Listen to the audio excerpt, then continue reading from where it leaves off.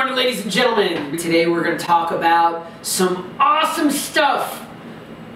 Okay, I'm exaggerating a little bit. It's going to be glow-in-the-dark grout. Um, I'm not supposed to tap things on the table today. I got yelled at a few times, so I won't do that. But what we wanted to do today was to take something that might not be seen as the most sexiest thing in the world, non-sanded grouts, to be used as joint uh, fillers for bathroom tiles or if you're a mosaic artist uh, for your tiles on your, your artwork.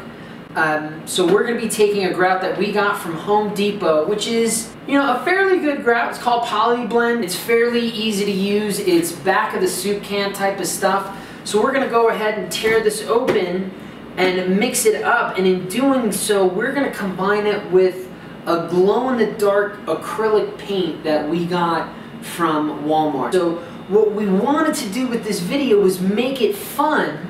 Take something from Home Depot, from Walmart or Target or Lowe's, combine it to take the ordinary and make it extraordinary. So what we're to do today here in a second is jump back over here at the mixing table, We've got some materials weighed out. We'll show you how to weigh it out.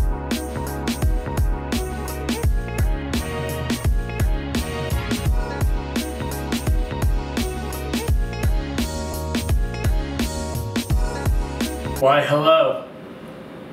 We're going to talk about the mixer that we've got here today, number 28. We call her Gertrude. Um, you know, most people aren't going to have this. Uh, this is a pretty awesome sauce mixer. It's a Hobart. It's something that we use for laboratory testing and not necessary. So you could theoretically use your wife's or husband's uh, KitchenAid mixer that's on the countertop, but in doing so, make sure you clean it up before they get home and walk in seeing you use it and then yell at you for two hours. Not that that ever happened, but it was red. Anyway, so we're gonna go ahead and mix up some grout. Uh, we'll see y'all here in a little bit. Here's our normal mix on the Polyblend.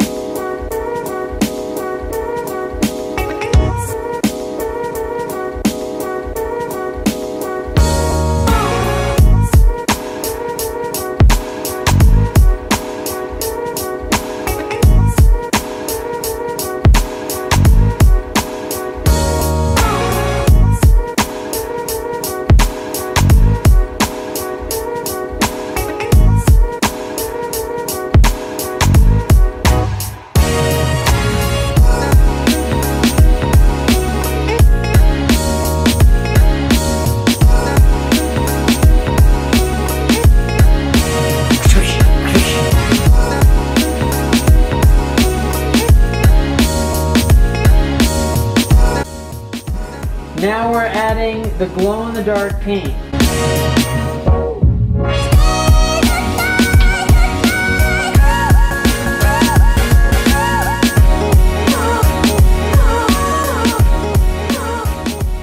So, we hope you had a good time today. We wanted to show you how to make some glow-in-the-dark grout for your bathroom tiles or if you're a mosaic artist.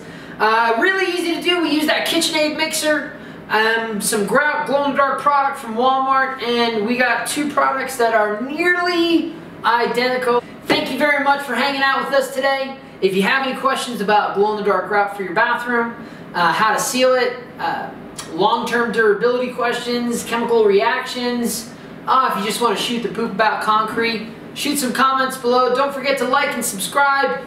Go concrete, beat asphalt!